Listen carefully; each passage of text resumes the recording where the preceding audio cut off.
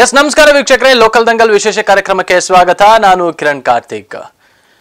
ಮುನಿರತ್ನ ಅಂತಿದಾಗೆ ಈಗ ಇಡೀ ಕರ್ನಾಟಕ ಶಾಸಕ ಮುನಿರತ್ನನ ಮೇಲೆ ಮುನಿಸ್ಕೊಳ್ಳುವಂತಹ ಪರಿಸ್ಥಿತಿ. ಎಸ್ ನೋಡಿ, ಎಂಥವ್ರಿಗೂ ಅಷ್ಟೇ.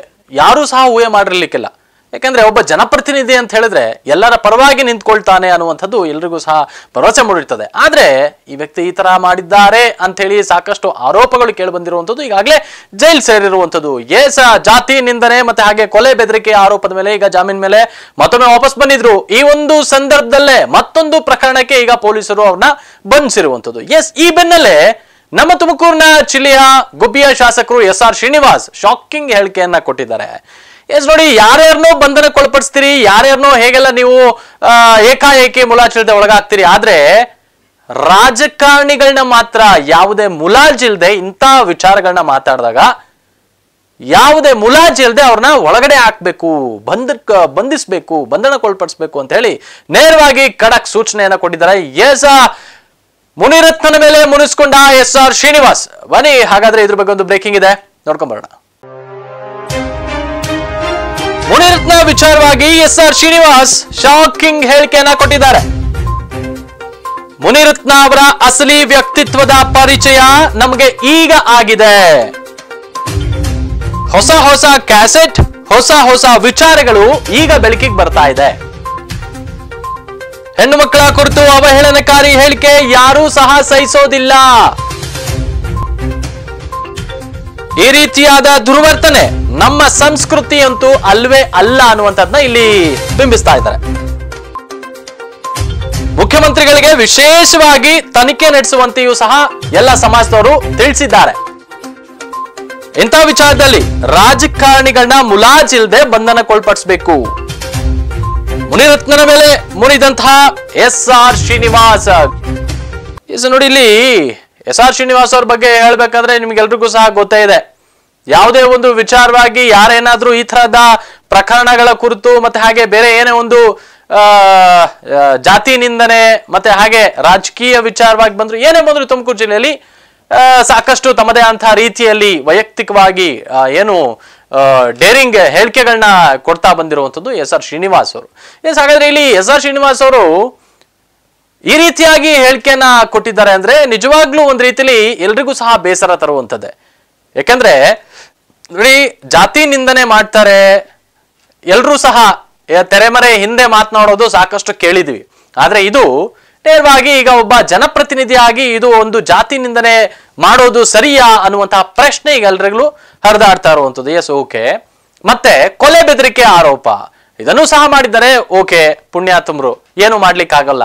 ಯಾರಿಗೂ ಗೊತ್ತಿಲ್ಲ. ಯಾವ ಶಾಸಕರು ತಾನೇ ಏನೇ ಒಂದು ಕೆಲಸಗಳಾಗ್ಬೇಕಂದ್ರೆ ಏನೊಂದು ಗತ್ತಲ್ಲಿ ಮೇಂಟೈನ್ ಮಾಡಲೇಬೇಕಾಗತ್ತಲ್ಲ ಅಧಿಕಾರಿಗಳ ಮುಂದೆ. ಎಲ್ಲರೂ ಮಾಡ್ತಾರೆ. ಆದರೆ ಕೊಲೆ ಬೆದರಿಕೆ ಆರೋಪ ಈಗ ಶಾಸಕ ಮುನಿರತ್ ಅವ್ರನ್ನ ಮೇಲೆ, ಏನೊಂದು ದೂರುಗಳ ಆರೋಪದ ಮೇಲೆ ಈಗ ಕೇಳಿ ಬಂದಿರುವಂಥದ್ದು ಈ ನಿಜವಾಗ್ಲೂ ಅಂತಹ ತಾಯಂದ್ರಿಗೆ, ಅಕ್ಕ ತಂಗಂದರಿಗೆ ನೀವು ಕೊಡುವಂತಹ ಮರ್ಯಾದೆ ಎಷ್ಟರ ಮಟ್ಟಿಗಿದೆ ಅನ್ನುವಂಥದ್ದು ಇಲ್ಲಿ ತಿಳಿತದೆ ನೋಡ್ರಿ, ಯಾರಿಗ್ರಿ ಗೊತ್ತು ಇದೆಲ್ಲ? ತೆರೆಮರೆಯಿಂದ ಇಷ್ಟೆಲ್ಲ ನಡೀತಿದೆಯಾ ಹಾಗಾದ್ರೆ? ಏನು ಇಲ್ಲದಂತಹ ಒಬ್ಬ ಖಾಲಿ ಕೈನ ಒಬ್ಬ ಸಾಮಾನ್ಯ ವ್ಯಕ್ತಿ ಶಾಸಕ ಆಗ್ಬೇಕಂದ್ರೆ ಸುಲಭದ ಮಾತಲ್ಲ. ಅದು ಬೇರೆ ಈಗ ಯಪ್ಪ ಕೋಟ್ಯಾಧೀಶ. ನೋಡಿ, ಈಗ ಅದೇ ವಿಚಾರವಾಗಿ ಹೇಳೋದಾದ್ರೆ, ಏನು ಹನಿ ಟ್ರ್ಯಾಪ್ ಮಾಡುವಂತಹ ಆರೋಪಗಳು ಸಹ ಕೇಳಿ ಬಂದಿರುವಂಥದ್ದು. ರೇಪ್, ನನ್ನ ಮೇಲೆ ರೇಪ್ ಮಾಡ್ಲಿಕ್ಕೂ ಸಹ ಪ್ರಯತ್ನ ಪಟ್ಟಿದ್ದಾರೆ ಮತ್ತೆ ಹಾಗೆ ಎಷ್ಟೋ ಹೆಣ್ಣು ಮಕ್ಕಳ ಒಂದು ವಿಡಿಯೋ ತುಣುಕುಗಳು ಸಹ ಈಗ ಅವರ ಬಳಿ ಇದೆ ಅಂತ ಹೇಳಿ ಸಾಕಷ್ಟು ಆರೋಪಗಳು ಕೇಳಿ ಬರ್ತಿದೆ. ಇನ್ನೇನು ಜಾಮೀನ್ ಮೇಲೆ ಹೊರಬಂದ ಬೆನ್ನಲ್ಲೇ ಈಗ ಮತ್ತೊಮ್ಮೆ ಪೊಲೀಸರು ಅವ್ರನ್ನ ಬಂಧಿಸಿದ್ದಾರೆ. ಸೊ ಎಲ್ಲಾದ್ರೂ ವಿಚಾರವಾಗಿ ಈಗ ಇದರಿಂದ ಇಡೀ ಒಕ್ಕಲಿಗ ಸಮಾಜದ ಎಸ್ಪೆಷಲಿ ಹೇಳೋದಾದ್ರೆ, ಈಗ ಇನ್ನೇನು, ಸಚಿವ ಚೆಲುವರಾಯ ಸ್ವಾಮಿ ಅವರು ಮತ್ತೆ ಹಾಗೆ ಕಾಂಗ್ರೆಸ್ನವರು ಅದರಲ್ಲೂ ಹೇಳೋದಾದ್ರೆ ಯಾಕಂದ್ರೆ ಬಿಜೆಪಿ ಶಾಸಕ ಅಲ್ವಾ ಹಾಗಾಗಿ ಕಾಂಗ್ರೆಸ್ನವರು ಎಲ್ಲೆಡೆಯೂ ಸಹ ಈಗ ಚಳುವಳಿಗಳನ್ನ ನಡೆಸಿ ಮತ್ತೆ ಹಾಗೆ ಅವರ ವಿರುದ್ಧ ಪ್ರತಿಭಟನೆಯನ್ನ ಮಾಡ್ತಾ ಇರುವಂತದ್ದು. ಈಗ ಸಿದ್ದರಾಮಯ್ಯನವರು ಅಷ್ಟೇ ಅದನ್ನ ಎಸ್ ಐ ಟಿಗೆ ನಾವು ತನಿಖೆಗೆ ಒಳಪಡಿಸ್ತೀವಿ ಅಂತೇಳಿಯೂ ಸಹ ಹೇಳಿಕೆಗಳನ್ನ ನೀಡ್ತಾ ಇದ್ದಾರೆ. ಎಸ್ ಹಾಗಾದ್ರೆ ಎಸ್ ಆರ್ ಶ್ರೀನಿವಾಸ್ ಅವರು ಏನ್ ಹೇಳಿದ್ರು ಆಕ್ಚುಲ್ ಆಗಿ? ಇದ್ರ ಬಗ್ಗೆ ಒಂದು ನೇರವಾಗಿ ಅವರ ಬಾಯಲ್ಲೇ ಏನ್ ಹೇಳಿದ್ರು? ಶಾಸಕ ಮುನಿರತ್ನ ಮೇಲೆ ಏನಂತ ಮುನಿಸ್ಕೊಂಡಿದ್ದಾರೆ ಎಸ್ ಆರ್ ಶ್ರೀನಿವಾಸ್ ಅವರು? ನೀವೇ ನೋಡಿ. ನಾವು ಈ ಗ್ರಾಮದಲ್ಲಿ ಕಾಲೋನಿ ಮತ್ತು ಊರೊಳಗೆಲ್ಲ ಚರಂಡಿಗಳು ನೀರು ಸಮರ್ಪಕವಾಗಿ ಹರಿತಿರಲಿಲ್ಲ ಮತ್ತು ಕೆಲವು ಆಲೆ ನಾನು ಹಿಂದೆ ಮಾಡಿದ್ದೇವೆ ಕಾಂಕ್ರೀಟ್ ಇನ್ನೊಂದು ಸ್ವಲ್ಪ ಉಳಿಕೆ ಇತ್ತು. ಉಳಿಕೆ ಇರೋದೆಲ್ಲ ಸೇರಿ ಮಾಡಲಿಕ್ಕೆ ಸುಮಾರು ಒಂದು ಕೋಟಿ ರೂಪಾಯಿ ಹಣ ಹಾಕಿದ್ದು. ಅದರ ಬುದ್ಧಿ ಪೂಜೆ ಮಾಡ್ತಾ ಇದ್ದೀವಿ. ಮತ್ತು ಮನೆ ಮನೆಗೆ ಗಂಗೆ. ಕೊಡ್ತಕ್ಕಂಥದ್ದು. ಅದು ಎಂಬತ್ತೈದು ಲಕ್ಷ ರೂಪಾಯಿ ಆಗಿತ್ತು. ಅದನ್ನು ಕೂಡ ಇವತ್ತು ಪೂಜೆ ಮಾಡ್ತಾ ಇದ್ದೀವಿ ಮುನಿರತ್ನ ಕೇಸ್ ವಿಚಾರ. ಸರ್ ಅವರು ಮುನಿರತ್ನ ಅವರು ಇದುವರೆಗೂ ಅವರ ವ್ಯಕ್ತಿತ್ವದ ಚಿತ್ರಣ ಗೊತ್ತಾಗಿರಲಿಲ್ಲ ಈಗ ಈಗ ಈಗ ಅದ್ರ ಬಗ್ಗೆ ಗೊತ್ತಾಗ್ತಾ ಇದೆ. ಅದ್ರ ಬಗ್ಗೆ ತನಿಖೆಗಳು ಆಗ್ತಾ ಇದ್ದಾವೆ. ಈಗ ಹೊಸ ಹೊಸ ಕ್ಯಾಸೆಟ್ಗಳು, ಹೊಸ ಹೊಸ ವಿಚಾರಗಳು ಬೆಳಕಿಗೆ ಬರ್ತಾ ಇದೆ. ಅದರಿಂದ ಅವ್ರ ಮೇಲೆ ಕ್ರಮ ಆಗಬೇಕು. ಅವ್ರು ವಿಶೇಷವಾಗಿ ಜಾತಿ ಹಿಡಿದು ಮಾತನಾಡಿರ್ತಕ್ಕಂಥದ್ದು ಮತ್ತು ಹೆಣ್ಮಕ್ಳ ಹೆಣ್ಮಕ್ಳನ್ನ ಅವಹೇಳನಕಾರಿಯಾಗಿ ಮಾತಾಡಿರ್ತಕ್ಕಂಥದ್ದು, ಇದು ನಮ್ಮ ಸಂಸ್ಕೃತಿ ಅಲ್ಲ. ಅದಕ್ಕೋಸ್ಕರ ಅವ್ರ ಮೇಲೆ ನಾವು ಮುಖ್ಯಮಂತ್ರಿಗಳನ್ನೂ ಕಂಡು ಅವ್ರಿಗೆ ಒತ್ತಾಯನ ಕೂಡ ಮಾಡಿದ್ದೀವಿ. ನಮ್ಮ ಸಮಾಜದ ಎಲ್ಲ ಶಾಸಕರುಗಳು ಮತ್ತು ಮಂತ್ರಿಗಳು ಎಲ್ಲರೂ ಹೋಗಿ ಒತ್ತಾಯ ಮಾಡಿದ್ವಿ. ಅವ್ರ ಮೇಲೆ ಕ್ರಮ ಆಗುತ್ತೆ, ಆಗಬೇಕು. ಸರ್ ಪೊಲಿಟಿಷಿಯನ್ ಈ ಥರ ತಪ್ಪು ಮಾಡಿದಾಗ ನಿರ್ದಾಕ್ಷಿಣ್ಯವಾಗಿ ಕೋರ್ಟ್ಗಳು ಈಚೆಗೆ ಬಿಡಬಾರ್ದು. ಈಗ ದರ್ಶನ್ ಹೆಂಗೆ ಒಳಗಿಟ್ಟಿದಾರೋ ಹಂಗೆ ಒಂದು ಆರು ತಿಂಗಳು ವರ್ಷ ಇಟ್ಬಿಟ್ರೆ ಸಣ್ಣ ಕೇಸೇ ಆಗಲಿ. ಬೇರೆ ಪೊಲಿಟಿಷಿಯನ್ಗೆ ಒಂದು ಇದು ರೀತಿ ಒಂದು ಮಾದರಿ ಆಗುತ್ತೆ ಎದುರ್ಕೊಂತಾರೆ ತಪ್ಪು ಮಾಡೋಕ್ಕೆ ಹಿಂದೆ ಮುಂದೆ ನೋಡ್ತಾರೆ. ಎಸ್, ನೋಡಿದ್ರಲ್ಲ? S R Srinivas.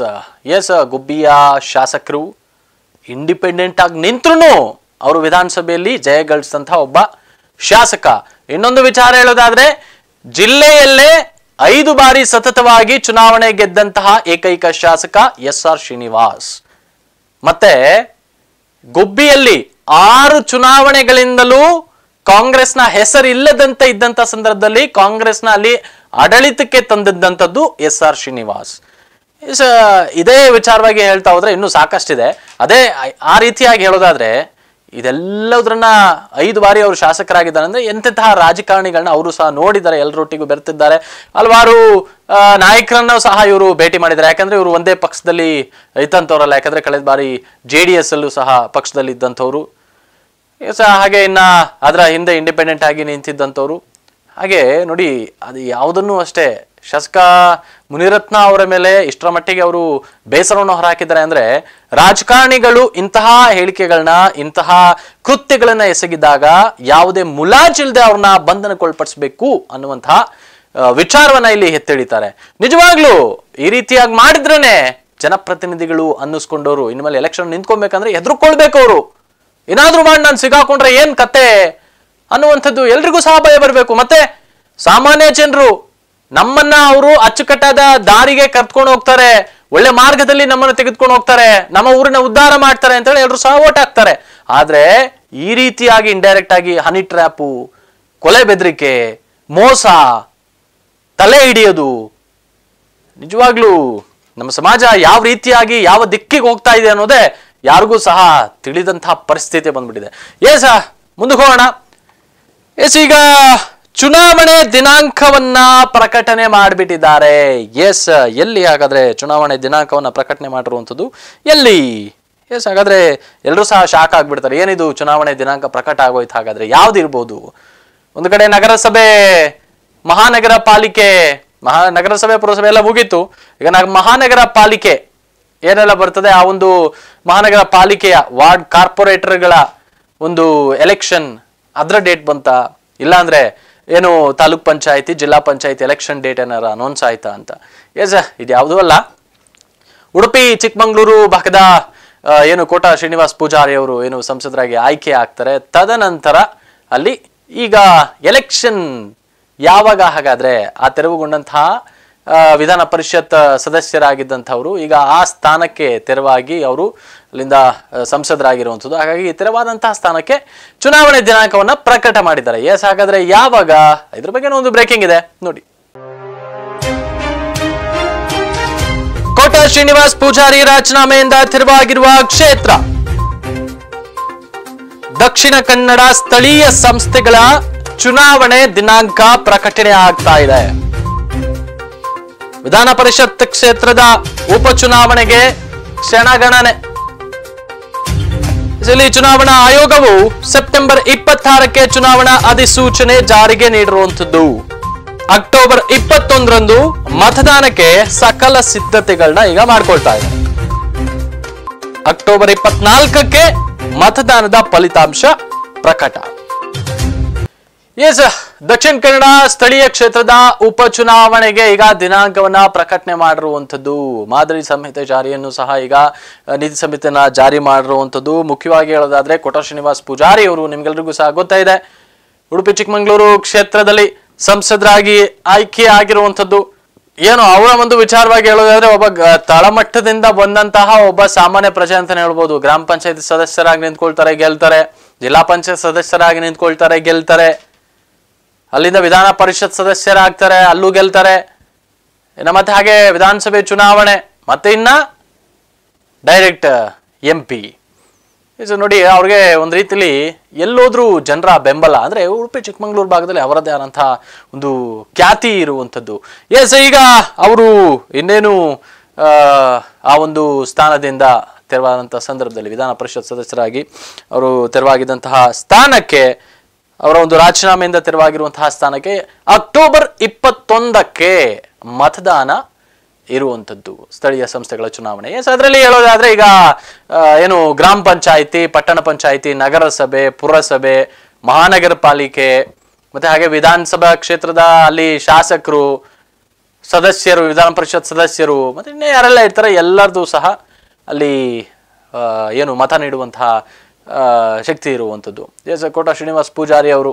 ಈಗ ಅದೊಂದೇ ಅಲ್ಲ ಇನ್ನು ಕೇವಲ ಇದೊಂದಲ್ಲ, ಇನ್ನೂ ಸಾಕಷ್ಟು ಕ್ಷೇತ್ರಗಳು ಈಗ ಉಪಚುನಾವಣೆ ನಡೆಯುವಂತಹ ಹೊಸ್ತಿಲಲ್ಲೇ ಇರುವಂಥದ್ದು. ಯಾಕಂದರೆ ಅದರಲ್ಲಿ ಹೇಳೋದಾದ್ರೆ ಜಗದೀಶ್ ಶೆಟ್ಟರ್ ಅವ್ರದ್ದಿದೆ, ಬಸವರಾಜ್ ಬೊಮ್ಮಾಯಿ ಅವ್ರದ್ದಿದೆ, ಚನ್ನಪಟ್ಟಣ ಎಚ್ ಡಿ ಕುಮಾರಸ್ವಾಮಿ ಅವ್ರದ್ದು.